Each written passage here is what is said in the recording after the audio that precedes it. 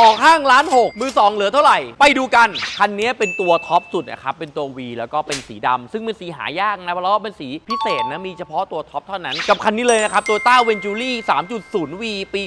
2017 จดปี 2018สำหรับรถตู้ VIP เนี่ย ถ้าเกิดว่างบไม่เยอะมากเนี่ย เอาผ่านไม่ไหวเนี่ย ผมว่าเวนจูรี่เนี่ย ก็เป็นรถที่เป็นตัวเลือกที่ดีนะครับ เพราะว่าเราได้ประตูสไลด์สองข้างแล้ว แล้วก็เบาะคนนั่งเนี่ย เบาะแถวหน้าเนี่ย ถือว่าเป็นเบาะที่นั่งสบาย เพราะว่าเป็นเบาะสองตัว ซึ่งประตูสไลด์สองข้างเนี่ยสามารถเปิดได้จากคนขับเลย เบาะคู่หน้าเนี่ยแถวแรกเนี่ยจะเป็นเบาะสองตัวเพราะฉะนั้น feel ที่เราจะได้เนี่ยเราก็จะได้ feel การนั่งแบบเอาผานก็ดูเป็นเจ้านายได้ แล้วก็เบาะสำหรับตัวtop ตัวนี้มันสามารถหมุนได้ด้วยนะ ซึ่งเราสามารถที่จะหมุนเบาะลักษณะแบบนี้ได้เลยนะครับนี่ด้านหลังเนี่ยจะมีสัญลักษณ์ตัว V แบบนี้ให้นะคันนี้เพราะเป็นสีดำเนี่ยรถดูดุมากเลยนะครับแล้วก็ด้านบนมีสปอยเลอร์แบบนี้ให้ อีกนิดนึงคือฝาท้ายเนี่ยถ้าเป็นไฟฟ้าแบบเอาผานนะ เปิดได้แต่คนขับ แล้วก็ปิดตรงเนี้ยแบบไฟฟ้านะผมว่าคันนี้จะเป็น option หนึ่งที่ทำให้คันนี้น่าใช้มากขึ้นอีกเยอะเลย รุ่นนี้เป็นปุ่ม push start แล้วนะ เพราะว่าเป็นตัว top แล้วก็มีกล้องถอยหลังให้อยู่ที่มุมนี้นะครับ ไฟเป็นไฟแบบตัดแสงอัตโนมัติด้วย ตัวนี้เป็นรถป้ายแดงมือเดียวนะครับ แล้วก็ประตูสไลด์ซ้ายขวาเนี่ยสามารถที่จะ control ได้จากคนขับรถนะครับ มีปุ่มตรงนี้กดได้เนาะ ถ้าใครซื้อรถมือสองแล้วรู้สึกกังวลนะครับ ที่ Outlet Auto นะเรามีการรับประกันให้หากรู้ภายหลังว่ารถชนหนักน้ำท่วมคว่ำตัดต่อหรือว่ากรอไมล์เรายินดีซื้อคืนเต็มจำนวน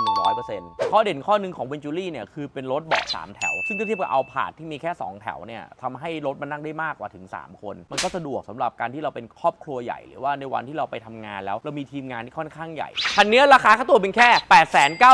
899,000 บาท ประหยัดกว่าป้ายแดงไปแล้วเกือบครึ่งหนึ่งเลยนะ ใครสนใจสอบถามรายละเอียดเพิ่มเติมไปที่ James Outlet Auto